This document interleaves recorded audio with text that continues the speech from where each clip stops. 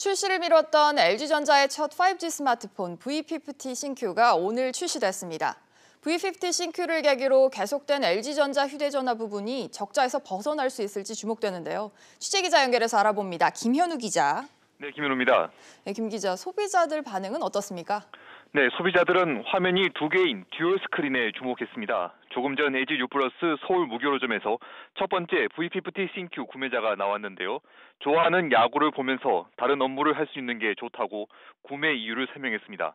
다른 고객들도 이처럼 기존 스마트폰에 없던 큰 화면과 멀티태스킹을 높게 평가했습니다. LG전자도 첫 5G 폰에 큰 기대를 걸고 있는 것 같은데요. 네, LG전자는 V50 싱큐를 통해 스마트폰 부진을 떨쳐낸다며 공격적인 마케팅에 나섰습니다. 출고가는 삼성전자 갤럭시 S10 5G 256GB보다 20만 원 정도 싼 119만 9천 원으로 책정했습니다. 최대 77만 원의 공시 지원금과 대리점 추가 지원금까지 받으면 31만 원 선에서 살 수 있습니다.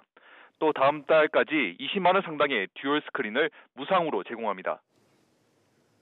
네, 그런데 V50의 dual 스크린이 Galaxy Fold 출시 연기로 재조명이 되고 있다면서요. 이건 어떤 얘기입니까? 네, LG전자가 올해 초 dual 디스플레이를 발표했을 때만 해도 혁신으로 평가받는 foldable 폰과 비교되면서 혹평을 받았습니다.